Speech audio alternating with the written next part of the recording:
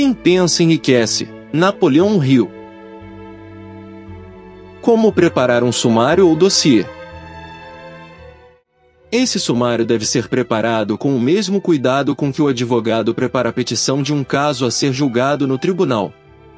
A não ser que o candidato tenha experiência no preparo dos sumários, deve ser consultado um perito e seus serviços requisitados para tal propósito. Comerciantes de sucesso empregam homens e mulheres que compreendem a arte e a psicologia da propaganda para apresentar os méritos do seu produto. Quem tiver serviço pessoal a oferecer, deve fazer o mesmo. Os dados seguintes devem aparecer no sumário. 1. Educação. Declare em poucas linhas, mas com segurança, a instrução que teve e quais as matérias em que se especializou na escola, dando as razões da especialização. 2. Experiência. Se você teve alguma experiência em cargos similares que procura, descreva-as, declarando nomes e endereços dos empregadores anteriores. Assegure-se de estar salientando qualquer experiência especial que possa ter tido e que o capacitaria a ocupar o cargo que deseja. 3. Referências. Todas as firmas comerciais, praticamente, desejam saber tudo sobre resultados anteriores, antecedentes, etc., dos empregados em perspectiva, que procuram cargos de responsabilidade. Acrescente ao sumário breves fotocópias de cartas de a empregadores anteriores. B. Antigos professores. C. Pessoas proeminentes, cujo julgamento mereça confiança. 4. Uma fotografia. Coloque junto ao sumário uma fotografia sua, recente não enquadra. 5. Candidate-se a um cargo específico. Evite solicitar um cargo, sem descrever exatamente o cargo determinado que deseja. Nunca solicite, apenas, um cargo. Isso indica falta de aptidões especializadas. 6. Declare suas aptidões para o cargo, dê todos os pormenores quanto à razão que acredita capacitá-lo para o cargo que procura. Esse é o pormenor mais importante da sua solicitação. Determinam, mais do que qualquer outra coisa, a consideração que irá receber.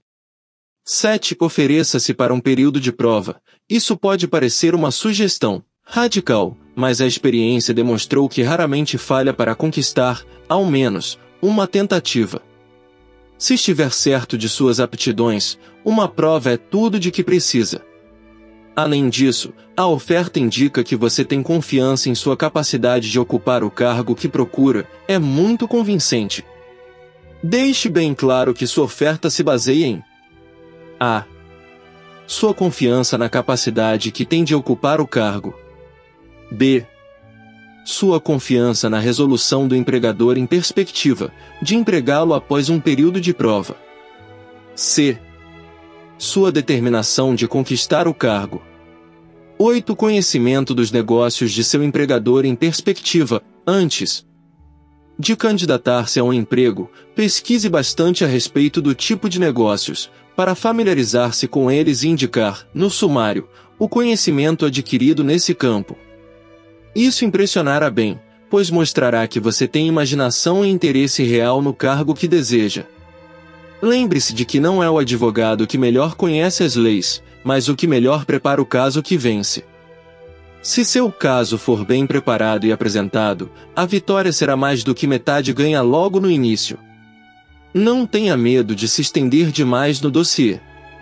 Os empregadores têm o mesmo interesse em adquirir os serviços de candidatos capazes do que você em conseguir o emprego.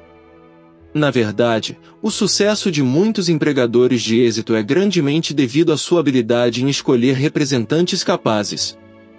Eles querem todos os dados possíveis.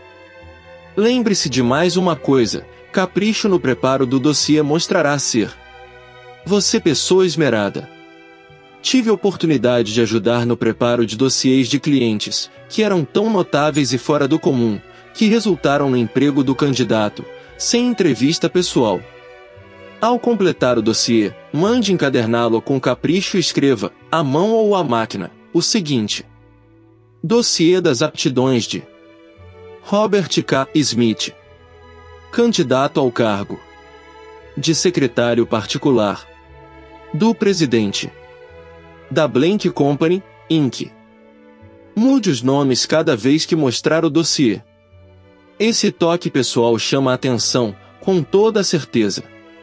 Mande datilografar ou imprimir o dossiê no papel mais fino que puder obter, encadernado em papel pesado, próprio para isso, mudando a capa e o nome da firma a ser inserido, se for mostrá-lo a mais de uma companhia. Sua fotografia deve ser colada a uma das páginas do dossiê. Siga essas instruções ao pé da letra, melhorando-as sempre que sua imaginação o sugerir. Vendedores de êxito vestem-se com esmero. Compreendem que a primeira impressão é duradoura. Seu dossiê é seu vendedor. Dê-lhe boas roupas, para que faça um contraste com qualquer coisa que o empregador em perspectiva tenha visto, como solicitação de cargo.